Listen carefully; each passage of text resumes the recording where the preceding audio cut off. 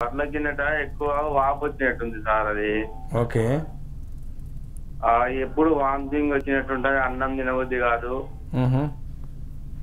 Vomiting వస్తుంది అన్నం తినబుద్ధి కాదు. కానీ తిన్నా కానీ మళ్ళీ వామిటింగ్ వస్తుంది సార్ అది. ఇది ఎప్పటి నుంచి మొదలైంది ఇట్లా?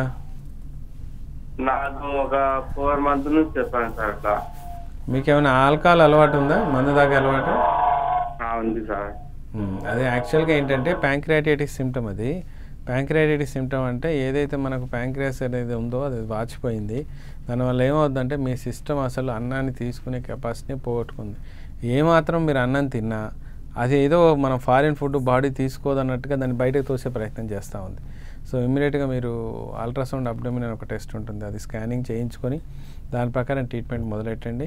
అప్పటి వరకు కనీసం నూనె పదార్థాలు కూడా మీకు తినే తినే ఛాన్స్ లేదండి. తిన్నారంటే మాత్రం ఇంకా ప్యాంక్రియాస్ డ్యామేజ్ అయిపోతుంటుంది. అది ఇంకా కష్టం. ఇప్పుడు నెక్స్ట్ స్టెప్కి ఏమవుతుందంటే మీకు కడుపులో నొప్పి రావటం ఆ తర్వాత నొప్పి భరించలేని స్టేజ్ ఆ తర్వాత వామిటింగ్స్ ఆ వామిటింగ్స్తో పాటు పైత్యం మొత్తం బయటికి రావటం అంటే పైత్యరసం తర్వాత కడుపులో నొప్పి జ్వరం లాంటి లక్షణాలు వస్తూ ఉంటాయి. ఇది మధు ముదిరిందంటే మళ్ళీ సర్జరీకి వెళ్ళాల్సిన అవసరం ఉంటుంది. సో ఆల్కహాల్ స్మోకింగ్ ఇమీడియట్గా మానేస్తూ నాన్ వెజిటేరియన్ కూడా ఆయిల్ ఫుడ్ కూడా మానేసి సాత్వికమైన ఫుడ్ తీసుకుంటూ హోమియోపతి ట్రీట్మెంట్ స్టార్ట్ చేయండి. డెఫినెట్గా మీ ప్రాబ్లం సాల్వ్ అయిపోతుంది. నాకు తెలిసి ఇది ప్యాంక్రైటైటిస్తో పాటు గ్యాస్ట్రైటిస్ లేదా గ్యాస్ట్రిక్ అల్సర్ అయినా ఖచ్చితంగా ఉండి ఉండాలి.